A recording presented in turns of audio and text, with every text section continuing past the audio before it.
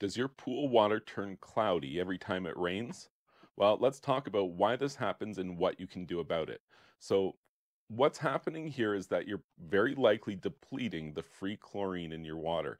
Uh, what do you keep your free chlorine at? A residential swimming pool, the range is kind of two to five parts per million, and most pool owners I know tend towards the lower end of that range.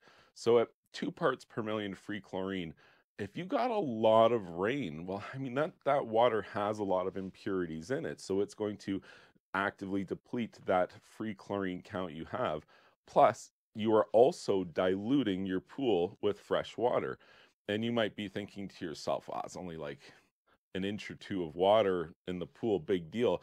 Well, if you had a 20 by 40 pool, every inch of water is 500 gallons. So if you had two inches of water, that's a thousand gallons of fresh water that just got added to your swimming pool. So that's, I mean, that's going to add up and that's going to make a difference to the chemicals in your pool.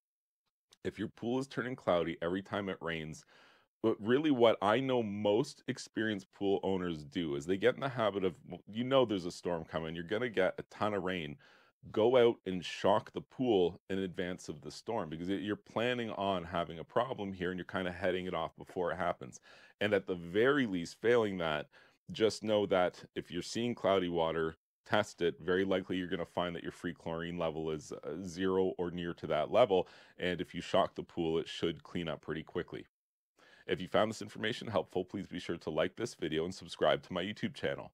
And you can check out my website, swimmingpoolsteve.com.